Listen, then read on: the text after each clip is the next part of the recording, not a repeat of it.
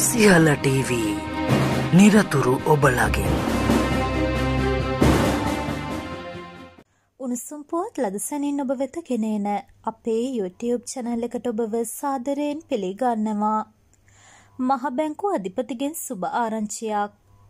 අත්‍යවශ්‍ය ද්‍රව්‍ය සඳහා විදේශ විනිමය හිඟයක් මේ වන විට රට තුළ නොමැති බව ශ්‍රී ලංකා මහබැංකු අධිපති ආචාර්ය නන්දලාල් වීරසිංහ මහතා පවසයි. ඔහු මේ බව ප්‍රකාශ කර තිබුණේ මහබැංකු වෙබ් අඩවියේ පළ කර තිබූ විශේෂ සම්මුඛ සාකච්ඡාවකදීය. එහිදී වැඩිදුරටත් අදහස් දැක් වූ මහබැංකු අධිපති ආචාර්ය නන්දලාල් වීරසිංහ මහතා.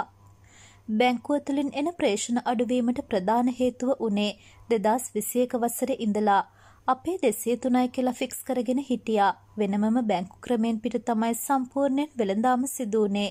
බැංකුවේ තියෙන මුදලයි මුදල් හුවමාරු ආයතනවලින් එන මුදල අතර වෙනසක් නැහැ. අත්‍යවශ්‍ය දේ සඳහා විදේශ විනිමය හිඟයක් නැහැ.